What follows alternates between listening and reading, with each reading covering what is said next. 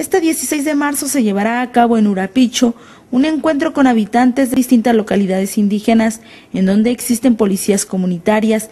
La intención es analizar el marco legal que rige a estos grupos sociales, informó el diputado del PRD, Eleazar Aparicio III. La invitación que nos hizo Cherán para asistir el día 16 a Urapicho es para el análisis del marco legal en el cual puede sustentarse el papel de las policías comunitarias, no es reunión de policías comunitarias. En este mismo marco se decidió analizar ampliamente la controversia constitucional que fue entablada por el municipio de Cherán contra la reforma realizada por la pasada legislatura y se dé respuesta a la Suprema Corte de Justicia de la Nación en un proyecto que dijo no contemple reconocer el derecho indígena, lo que parece grave.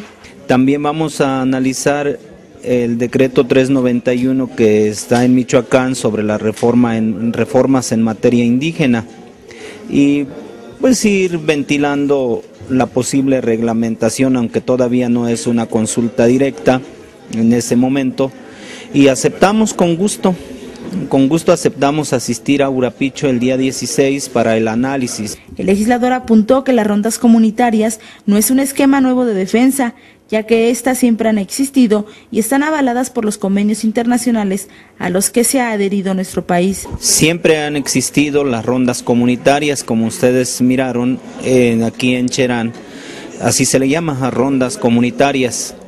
Eh, Cherán está enmarcada en un ámbito legal primero porque sus armas son están registradas ante todas las leyes.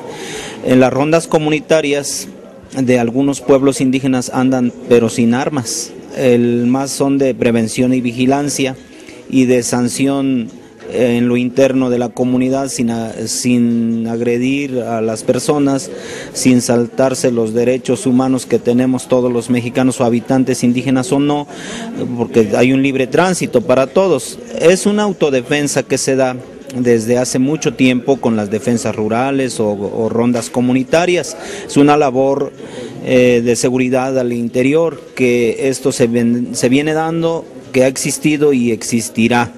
Para Noticieros, nuestra visión América.